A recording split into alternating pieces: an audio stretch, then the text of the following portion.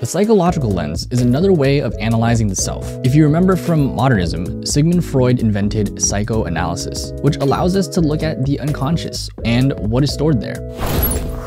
The main focus of this psychological lens is looking at how identities or identifiers in our environment have shaped how we perceive ourselves. This could be people, emotions, or any other social factors that we've internalized. From the Intro to Literary Theory with John Kohler, he states that psychoanalysis is a mode of interpretation and as a theory about language, identity, and the subject to understand what's really going on. This suggests that the self is grounded in an unconscious, where forbidden desires, traumas, and unacceptable emotions were stored. Kind of like the example that I'm playing the back. If you've seen Avatar The Last Airbender, when Aang is trying to unlock his chakras, he has a lot of trauma, guilt, and what is considered unacceptable emotions for an avatar to have. And he has to face those things, looking at what is the unconscious in order to unlock his abilities as a fully realized avatar. So the psychological lens allows us to look at texts or stories as expressions of personality, state of mind, feelings, and desires of the author or a character within a text. In that same regard, when we analyze an event in our own life with this lens, we consider how the event shaped our inner psyche, our inner thoughts, feelings, dreams, and desires, or how our psychological state at that time affected our experience. So when we analyze a character through the psychological lens, we can ask questions like, what is the author or character thinking or feeling? How are the author or character's inner thoughts, feelings, desires affected by events of the text? Or how are events of the text affected by the author's thoughts, feelings, and desires? And what can we tell about the author or character's personality or their mental and emotional state? So over on Google Classroom, after finishing the reading, make sure to respond to the following questions.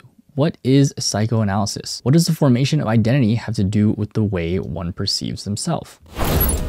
I hope that clarified the psychological lens and draw some connections to psychoanalysis. If you haven't already, make sure to complete the reading and then respond to the question assignment on Google Classroom. All right, I'll see you in the next one. Peace.